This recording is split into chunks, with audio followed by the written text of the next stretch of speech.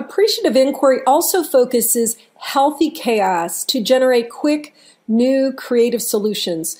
Chaos is not necessarily a bad thing, but when it's not intentionally focused, people tend to default into fearful, limiting, and negative thoughts, which then directly impacts the kinds of results that occur.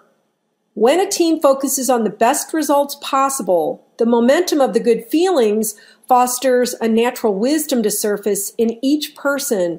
This enables every person to give and receive wisdom with respect and receptivity by hearing it first in ourselves and then being able to receive it from one another.